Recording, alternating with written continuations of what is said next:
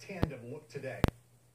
Pretty darn formidable, John. You know, Bill Clinton really helped uh, Barack Obama enormously in 2012 in Charlotte, North Carolina with that convention speech. And boy, was today payback plus some.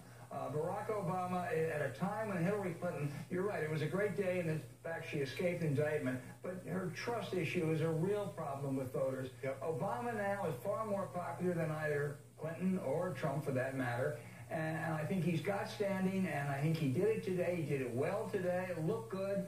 Uh, and I think North Carolina State that I spent a lot of time in, I know Democrats who think that the one mistake Obama made in 12 was not contesting North Carolina. He might have won it again. Uh, and I think right now, if I had to bet, I'd put it, as of today, uh, in the D category.